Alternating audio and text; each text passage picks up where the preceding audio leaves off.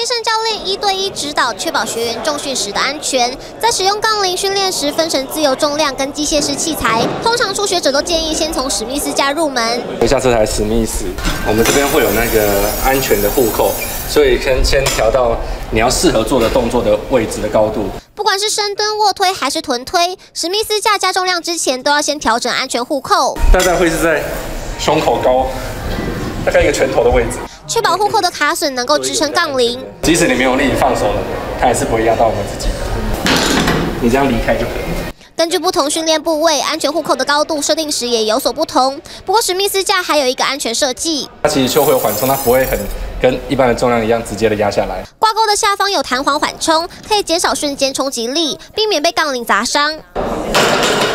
也有不少人训练时是用自由杠来精实身材。以自由杠来说的话，它会有更多的危险因子在，因为我们是把一个很长力举的一个重量是背在背上的嘛，所以相对来说，我们身体会更容易有摇晃的问题。但是自由杠不像史密斯有缓冲的安全措施，最好要有教练在旁边。